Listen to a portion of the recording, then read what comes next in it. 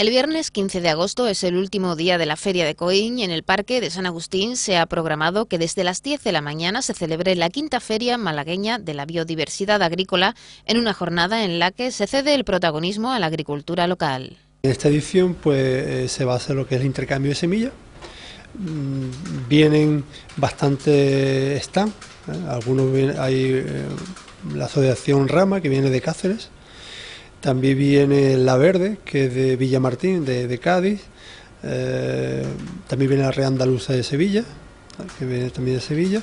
Y, de, la provincia de Málaga, pues vienen bastante estas más. Y además de lo que es el intercambio de semillas, está lo que es el, concurso de hortofrutícola de todos los años, que ya conocemos.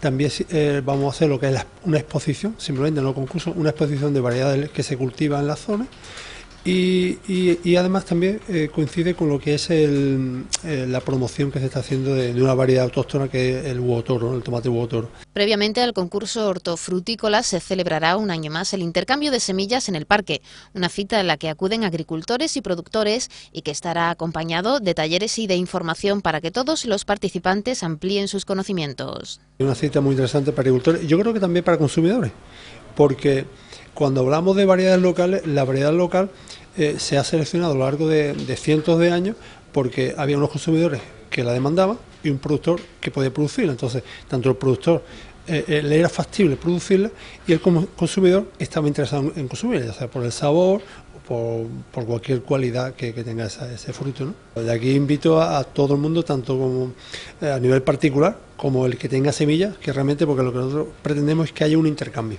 un intercambio que se traiga su semilla y, intercambie con, todos los stands que hay ahí, pues están abiertos a ese intercambio.